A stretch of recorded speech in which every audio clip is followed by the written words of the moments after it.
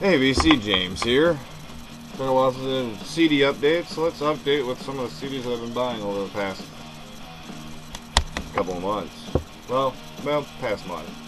First, couple of cassettes.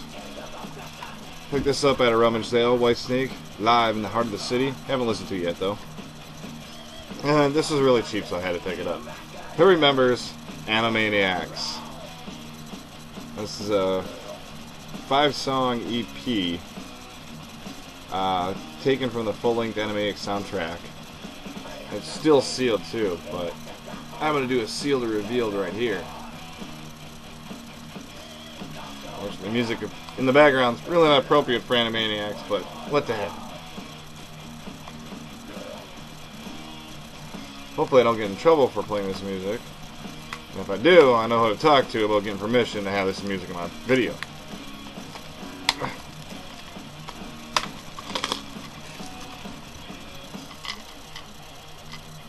Ah, there we go. That's short cassette. it has the Animaniacs theme song twice. Wakko's World, I'm Cute and I'm Mad. Alright. First is the country.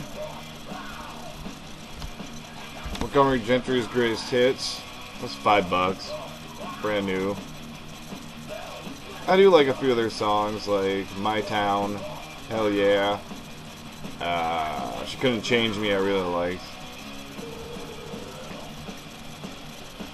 The Legend of Johnny Cash, another $5 CD from Walmart, like Montgomery Gentry. The reason I wanted this one, a lot of good classics, plus the Rusty and Hurt cover that he did.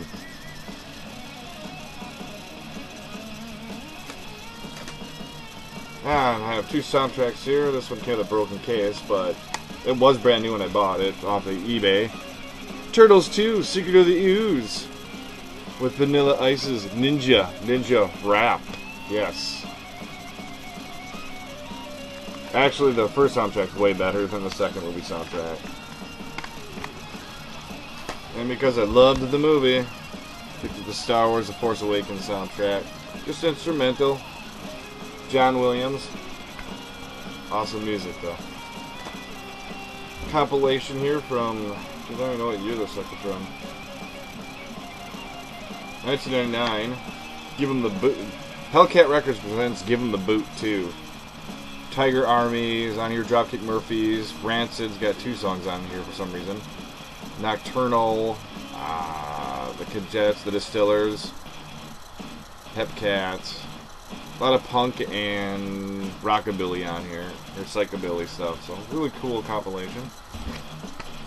we got Aerosmith Toys in the Attic, another $5 Walmart purchase. This is the original album here. The red disc there. Twisted Sister, Stay Hungry, this is the original release. Well, the only, the only used place to buy CDs in this town now. Had it for like a dollar ninety-nine, so I couldn't pass it up. This is really cheap too at the used place. Metallica's Beyond Magnetic, the four-song EP that came out after Death Magnetic. But it was actually a really good album. Now we're coming down to the wire. Here we got Megadeth Countdown Extinction live. This actually turned out to be a really good live concert CD. This was really cool. And plus Countdown Extinction is like my favorite album by Megadeth, so. But it also starts out with starts out with three songs and ends with three songs. I'm not uh, Countdown Extinction, obviously. Trust, Hangar 18, Public Enemy, She Wolf, Peace Out, and Holy Wars, The Punishment Due. Actually, Trust sounds very familiar, but I don't know what album Trust is off. Somebody can tell me what album Trust is off. Then I did pick up this at Target, Dystopia, the new Megadeth album, and it was uh, on sale for $11.99, and it came with a code to get the free vinyl sent to your house. I'm still waiting on that yet anybody's ever bought one of those CDs that plus vinyl from Target, can you let me know how long it takes to get the vinyl? Because this has been almost a month and I still haven't gotten the vinyl. I, mean, I don't know. I threw the code away because I used it. Oh, I didn't throw the code away. Maybe I can go to the website and track it. Yeah, this was wrapped around it. Exclusive vinyl. But yeah, so I'm still waiting on this. Which kind of sucks, but where the hell is it? And finally, what's playing in the background is, like I said, if I get in trouble for having this on a video, I'm asking you, Scott Waters, if I can have this in my video. Because this is in the background, which you probably recognized already if you're an Ultimatum fan, or you're Scott Waters, because you were in the band. But yeah, I picked this up at the Lighthouse Christian Bookstore. I was there one day, about a month ago. I was in the neighborhood, and I was like, you know what? I'm to stop in there for the heck of it. Because actually, I kind of want to get Petra on Fire again. Because I used to love that album for some reason. But I want to hear it again. They didn't have it. Now they had was like a 20th century best of for Petra. But then I was like, oh, let's go look at the used for the hell of it. And lo and behold, this is the only album they had, so I grabbed it into the pit. By the way, Scott, awesome album. I think better than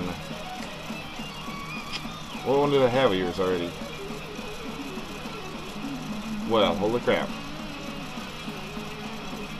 You send it to me. There it is. Puppet of Destruction. Puppet of Destruction, good album. This one, I think, is even better. Of course, this is a little bit later in life, so. Alright, so that is my CD update. Nice picture of Scott Waters there singing.